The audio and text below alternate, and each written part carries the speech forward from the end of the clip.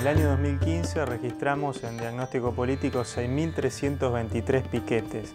Esto es un 7% menos que lo que se registró en el año 2014, que fue el año récord del 2009 a la fecha, que es el periodo en el cual nosotros tenemos datos. Esto lo que marca este número alto de piquetes, que serían unos 17 por día aproximadamente en todo el país,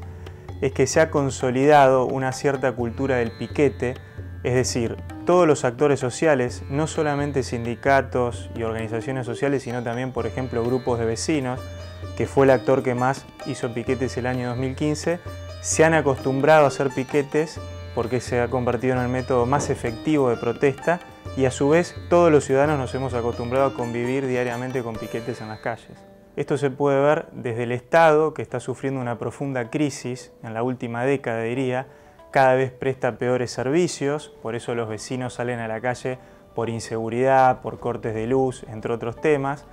y ha habido una coyuntura económica muy desfavorable que tiene que ver también con malas políticas en ese sentido, que han provocado alta inflación, como, una, como la gran madre de todos los problemas que tienen que ver con las demandas de los sindicatos y organizaciones sociales, aumento de salarios, mayores eh, subsidios, beneficios sociales, y hay otros sectores también que han sido afectados por esto. Pero por otro lado ha habido un gobierno que en los últimos años ha dejado hacer en el espacio público, se ha retirado del espacio público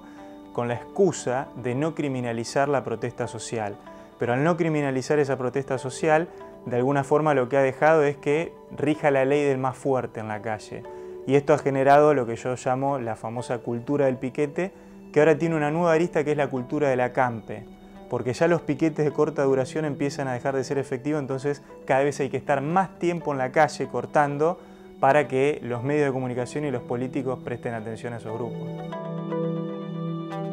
Principalmente las organizaciones sociales, que son quienes más recurren a estos, estas prácticas, por ejemplo tenemos el caso de la Tupac Amaru, que es simbólico en este sentido,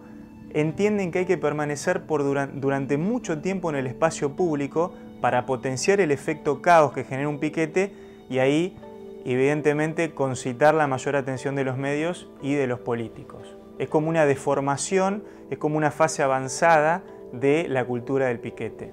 Peligrosa porque después de esto, ¿qué es lo que viene? Cuando los acampes dejen de ser efectivos, cuando el gobierno deje de gestionar cortes de larga duración como son los acampes.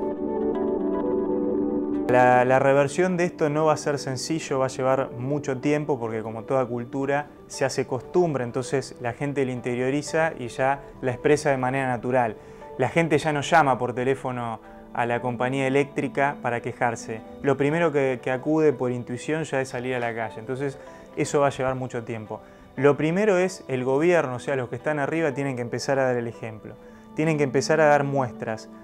de que quieren hacer cumplir las normas para garantizar un justo equilibrio entre el derecho a circular y el derecho a manifestarse, pero también tienen que empezar a prestar servicios de calidad. La justicia tiene que empezar a funcionar. El Estado tiene que empezar a dar el ejemplo, a dar muestras y la gente también, digamos, desde abajo hacia arriba, empezar a, eh, a recurrir y a volver a confiar en esos canales, canales formales del Estado que son propios de la vida en democracia. La cultura del piquete es antidemocrática por definición.